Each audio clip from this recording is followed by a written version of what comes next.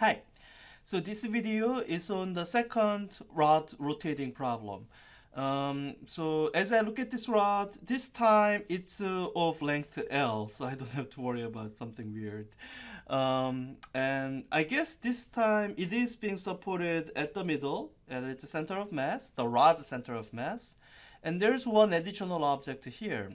So I'm going to first write down the rotation inertia of the entire object, including the object at uh, the 2, 2m mass at the end, because I think that'll probably be needed at some point. So let me write that down. So the rotational inertia of the whole thing is equal to rotational inertia of the rod plus rotational inertia of the mass. So you can look up the rotational inertia of a rod being spun about its center of mass. It's a 112 ml um, this time. It's the whole capital L ml squared.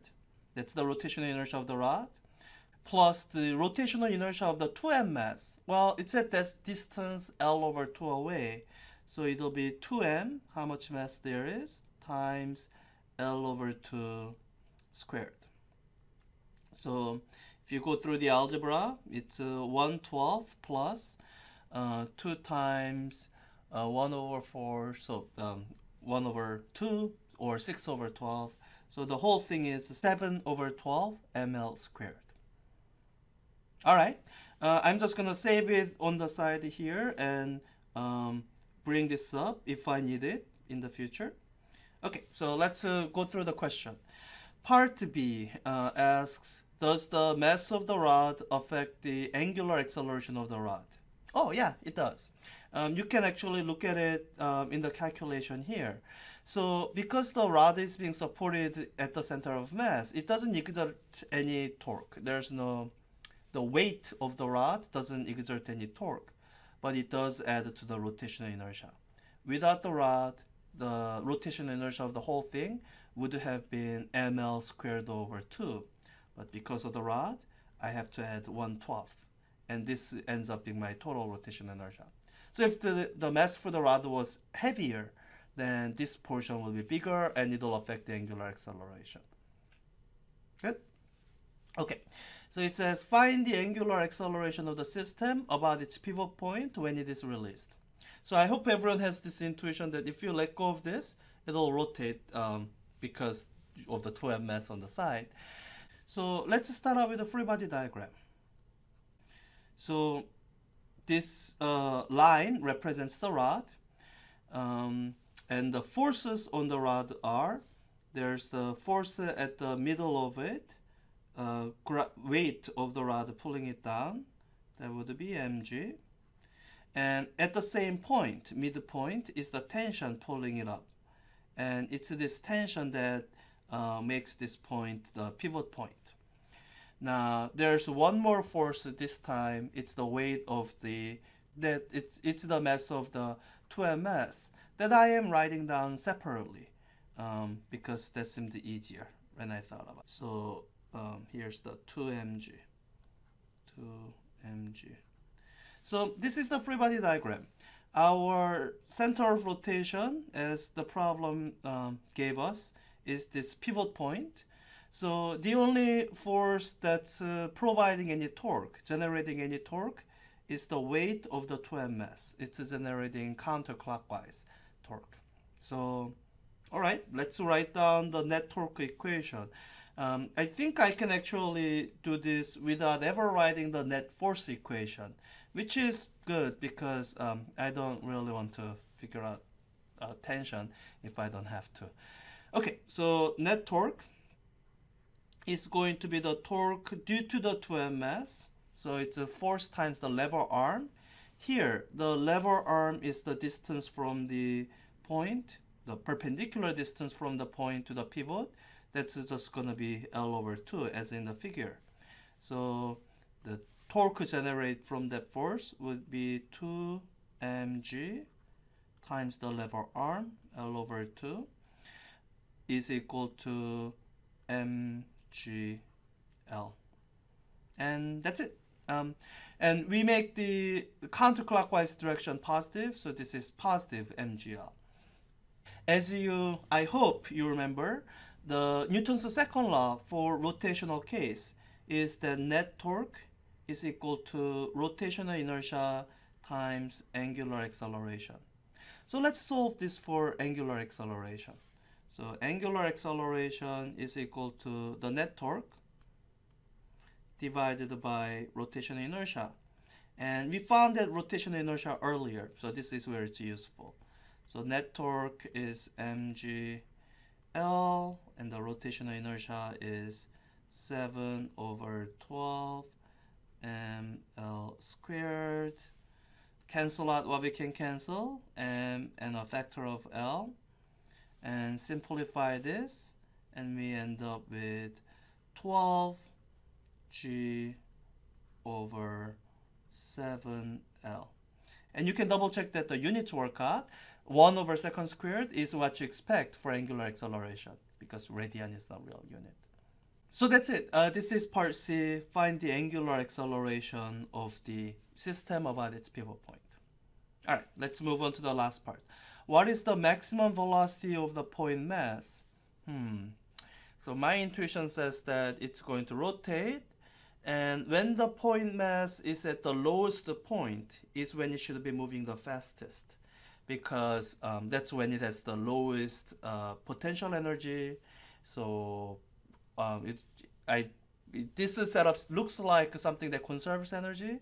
So I to say, all right, so this conserves energy. Um, so when the potential energy is the lowest, is when the kinetic energy will be highest. So if do you share that intuition? Yes. Then uh, let's draw the snapshot. So this is a snapshot 2. Uh, I'm going to label the initial one as snapshot 1 retroactively. So in snapshot 2, this is what it looks like. The rod is now hanging vertically and the 2ms is at the bottom of this rod. So the center of mass of the rod, uh, let me label that. Um, we are going to say the center of mass of the rod is at the position y equal to 0. This will simplify some of our expressions. So, um, so that means the height of the rod actually didn't change. It did rotate, but since the center of mass remained at the same point, it the height of the overall rod didn't change. The potential energy of the rod didn't change. That's the important part. And the other important number to know is the y position of the mass. It's now at minus L over 2. And it has lost some um, potential energy. Um, okay, uh, let me label the snapshot 1. So snapshot 1 is what we've been working with whole time the initial setup that was given in the problem. All right, let's start out with the conservation equation. So as I said, this looks like a situation that should conserve energy. So let's say energy is conserved. Conservation of energy. And whenever I use conservation law strategy on a problem, I like to start out with the statement of what is being conserved. So here, the statement of what is being conserved is the total energy. Total energy in snapshot 1 is conserved, meaning it's not changing. So that must be equal to total energy in snapshot 2. All right, let's break it down and write out expression for each of these. Uh, total energy in snapshot 1 is actually 0. The potential energy of the rod and the mass is 0 because they are at 0 height. Um, this is where I define the 0 height and uh, its kinetic energy is zero because it's not moving. So we start out at zero energy. Now this zero energy is equal to, so in the snapshot 2, the potential energy is negative. The gravitational potential energy is negative according to the 2m mass having swung down. So let me write that down first. So that's um, 2mg force times the displacement minus L over 2. That's going to give me negative number. Plus, um, so this loss in potential energy goes into kinetic energy.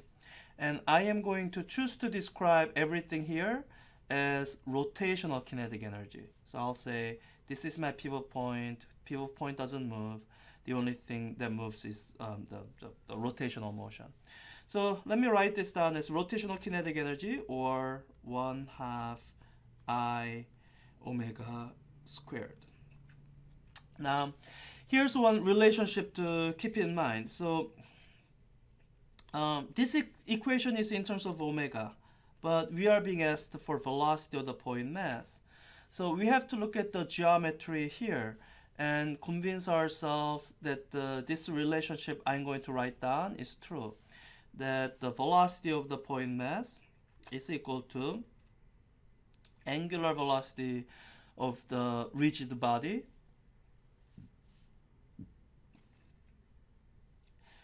times the radial distance of the point mass from the center of rotation L over 2. So um, if you're convinced that that's true, then uh, we can write out the simplified version of this equation here. So let's uh, write it out. It's uh, 0 equal to, let me simplify some terms here. The first term is minus mgl. So minus mgl plus, uh, let me plug in what the rotation inertia and omega is now. 1 half the rotation inertia 7 over 12 ml squared times the omega squared which would be oh I should have solved this for omega. Uh, let's do it in my head. Omega is equal to 2v over L. So let me plug that in. Then it's uh, 2v over L squared all right, uh, some things cancel out. Let me mark them first. This L squared will cancel out this L squared. The 2 squared will cancel, so 4 will cancel out enough of the 12 here to give me only 3 remaining. So 2 times 3, that will be 6. 7 over 6. And v squared is equal to that. So writing out, all right, what is v? So this is the maximum uh, velocity v. So maximum velocity v is equal to all of this moved over to the other side mgl um, mgl divided by the things that were left on the right hand side uh, 7 over 6 m. So oh yeah I guess I can just write it down. 7 over 6 m. Oh I forgot to cancel out m. So let's do that now. So m's cancel out and what you end up with is um, oh wait this should be square rooted. So what you end up with is the square root of 6 over 7 GL and you can double check to make sure that the units work out here. G meters per second squared times L meters so meters squared per second squared. When you take the square root it's meters per second as you would expect. Alright, um, so that's part D. That's the maximum velocity and uh, we are done. So these rotation questions, I'm hoping that as you do more of these, um, it be begins to feel like a review. It should feel like you have um, seen some of this before already, like this conservation of energy expression. You are just uh, applying these familiar concepts in a new, perhaps unfamiliar environment. As in, you have to write down this rotational kinetic energy expression, and you have to use this rotational inertia instead of mass. But um, I'm hoping, except for those changes, it'll begin to look familiar. And um, really, a lot of people do struggle with the rotation, but I feel that that doesn't have to be the case. If you keep referring back to what you knew in translational motion and translate that to rotational case, then um, you should be able to uh, start developing some intuition for this. Alright, so I have one more video to go and until then, bye.